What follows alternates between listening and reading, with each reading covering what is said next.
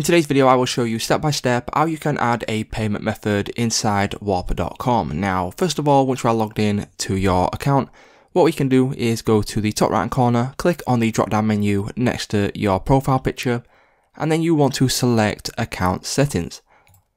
Now from here what you want to do is you want to go to this top bar right here and scroll all the way over until you see payment info. Click on this on this page, as you will notice, you will now be able to add a debit card or anything like that, and you will also be able to add your crypto wallet.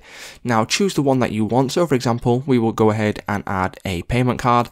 Click on this, that will then bring up these details right here where you will need to enter in your card details. You will then need to enter in your full name, your country or region, and also your address. Once you've entered in all of this information right here, click on confirm and then once you click on confirm, if you have done it correctly, your card will be listed in this section right here.